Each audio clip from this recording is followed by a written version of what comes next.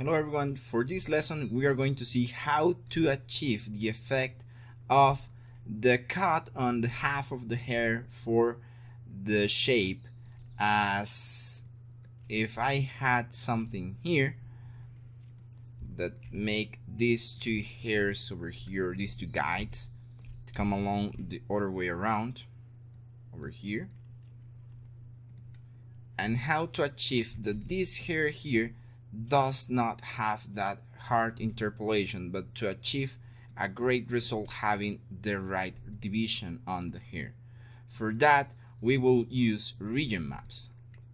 So this lesson is going to be a first step into the artisan tools with uh, Maya and Xgen.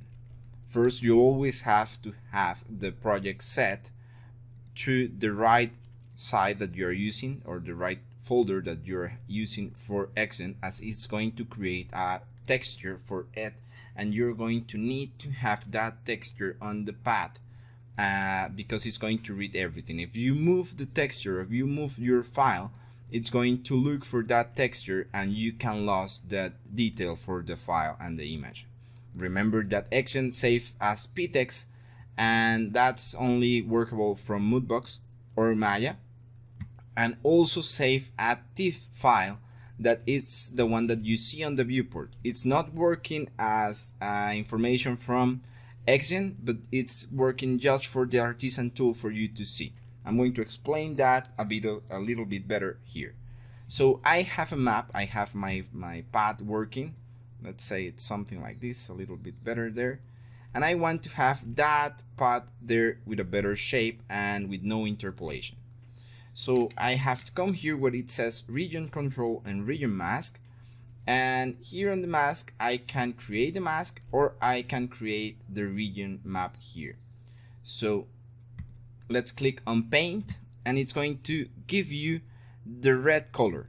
For region maps, it's recommended to paint only with the colors that you can actually achieve with one click that are the uh, pure colors.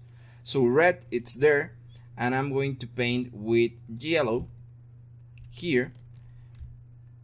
And I'm going to paint half where I want my division to be.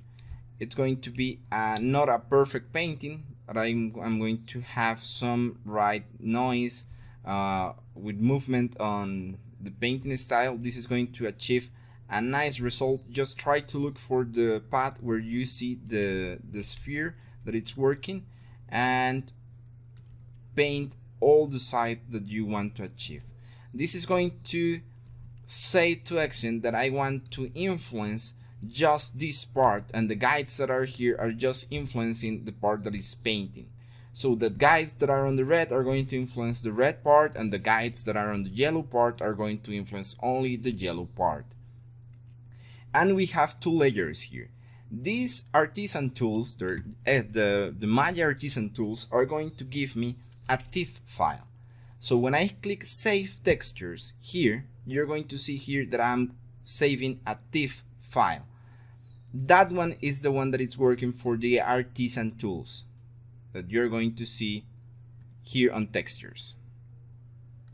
Why did I save it? Because we need to save that one first. If not, if we do not save, the next time that you open Maya and Xgen, you are not going to be able to paint again that map. So you need to paint this part. And I can see a red spot there that I think that I'm missing some part. Yeah. So let's click again, save.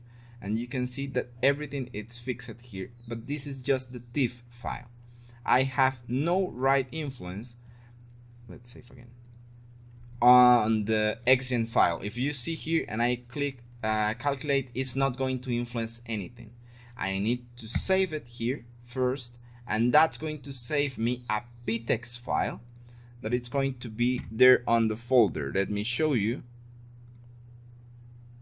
me see where my project is and this is pattern this is Xgen and here on images uh, Xgen, let me see, source images is going to have 3D paint texture that is going to have the ptex, no, the TIFF, the IF file.